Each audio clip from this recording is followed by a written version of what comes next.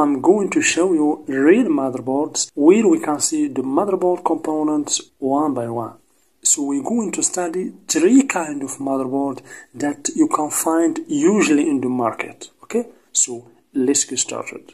So basically this is the block diagram that we have seen before. So as I told you before, if you understand just one block diagram, you can understand any other block diagram and any other motherboard architecture. Because always the motherboard, the laptop motherboard has the same working principle. Okay? So we're gonna see and study three types of motherboard as you can see. This is the first, here we have the second, and here we have the third. Basically, these three motherboards are different from each other. So, if you focus here, you will see that this motherboard, for example, as you can see, contain four chipsets, as you can see. Here we have one, two, three, and this is four. Okay. For this motherboard, as you can see, it contains just three chipsets. One, two, and three. And for this one, as you can see, it contains just two chipsets.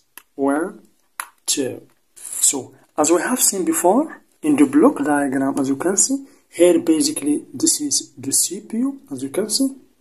Here we have the north bridge or the GMCH, and here we have the ICH. Sometimes you can find that this GMCH is separated. You will find the graphic card and the north bridge separated from each other. But here, the graphic card is integrated with the north bridge. That's why we call this chipset, as you can see, GMCH, Graphic Memory Control Hub. Okay? And sometimes you can find that also the ICH is integrated with the GMCH. Then we called it the PCH. Okay, so let's see the first motherboard as you can see over here.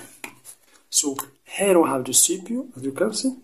Near to the CPU we have the north bridge or the MCH. We call it here MCH or memory control hub because the graphic card is separated from the north bridge. So the CPU or the processor, the north bridge or the MCH and over here we have the graphic card okay?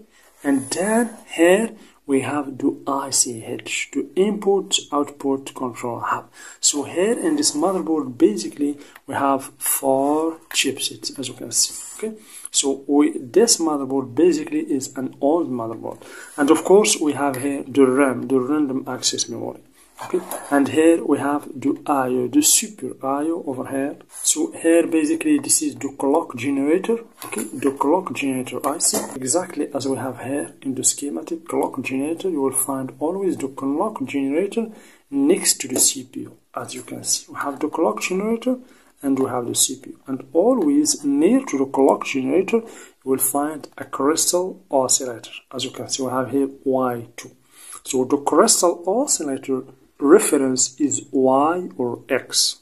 So then we have inductors. This is basically CPU channels. For this CPU, we have two channels as you can see. Always you will find inductor, MOSFETs, and ceramic capacitor. Inductor, MOSFETs, and ceramic capacitors. And of course, in the back, we're gonna find MOSFETs.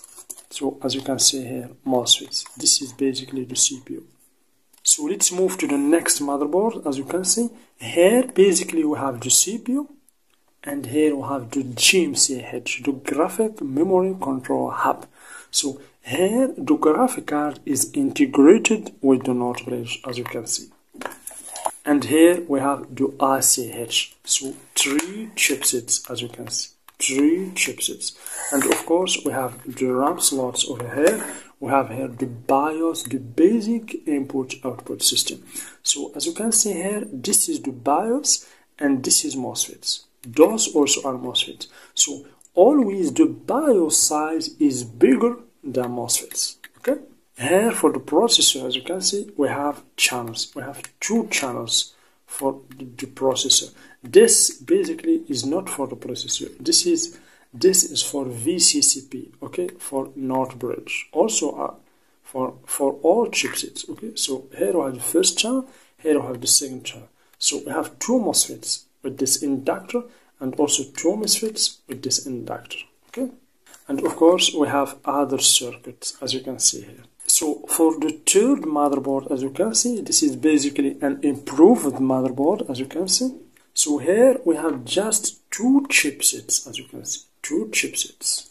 So here we have the CPU, and over here we have the graphic card with the north bridge. Okay, CPU, graphic card, and north bridge in one chipset. And here we have the ICH. Okay, so always you will find the BIOS near to the ICH and to the super input output.